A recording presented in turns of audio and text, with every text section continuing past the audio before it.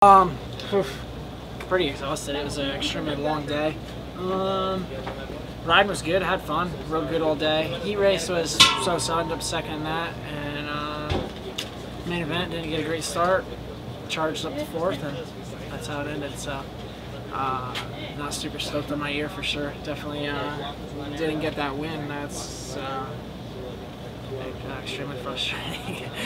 so uh, just uh, head to California, test hard, work hard, and hit the outdoors. Hey, how was that line over the sand? Is that gnarly? Uh, I overshot it a couple times, and that kind of hurt my ankles a little bit. But besides for that, it was uh, it was fast and smooth for me. Uh, it was rough, man. I got a I got an awesome jump, but just like hit a had a bit a little bit of a hole in front of my gate, and I jumped, I popped into it, and I think I don't know if uh, my hole shot device popped off or something like right when I hit the bump, but I just it's like I caught air, got a terrible start, and gave him like 15th, and guess I ended up sixth. Is what uh, results said. So. Just working all the way through those laps? Yeah, I had a I had a down spot. Me and Canard were battling for a bit, and then I uh, just, I was having some hangups out there. I just kept screwing up that rhythm section, had a couple bad laps, and Canard got away from me. But all in all, I mean the series is all right. Eighth overall in the series, and you know having to take off races to get surgery and come back and still get eighth overall ain't too bad. Building season again. Keep saying that, but maybe next year I'll be on the hunt from the get go or something. Yeah, it was good. Um,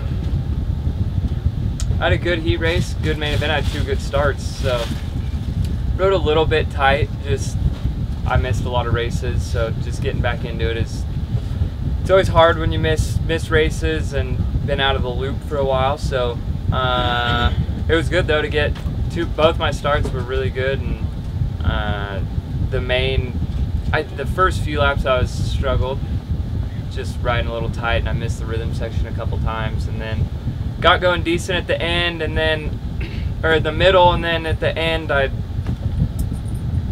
crashed in the whoops, so that was a bit of a bummer, but was able to get up and still salvage a decent finish. So uh, overall, I would say it was a good night. Just got good starts and rode up front a little bit. So uh, yeah, better than better than last weekend. So moving in the right direction.